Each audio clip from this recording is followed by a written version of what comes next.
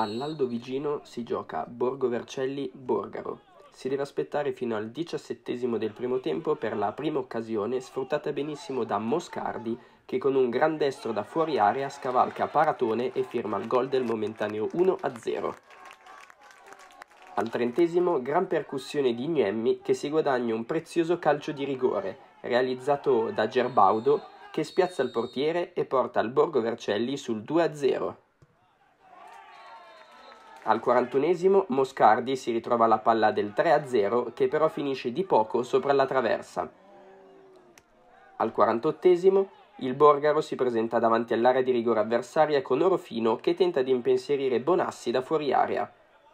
Al 59esimo, dagli sviluppi di un calcio d'angolo, Molfetta prende l'ascensore e infila Bonassi portando il match sul 2-1. Dieci minuti dopo, Liberali allontana direttamente sui piedi di Taraschi che però non impensierisce il portiere.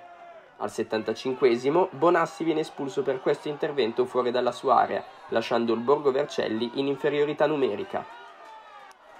Cinque minuti dopo, Fontana pesca Orofino sul secondo palo che, aiutato dalla traversa, riporta il match in parità. Finisce quindi 2 a 2 l'incontro tra Borgo Vercelli e Borgaro,